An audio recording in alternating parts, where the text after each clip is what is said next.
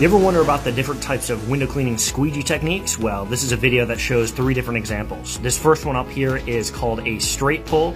You're simply going to drag the squeegee from the top of the window to the bottom of the window. And you see at the very top, I'm doing something called feathering, where you just jiggle the squeegee and this kind of attracts the water from the top so you get less lines. The next one, I don't know what it's called, but you are doing the whole window in one pass here, going from left to right or right to left and finishing off at the bottom, just like that.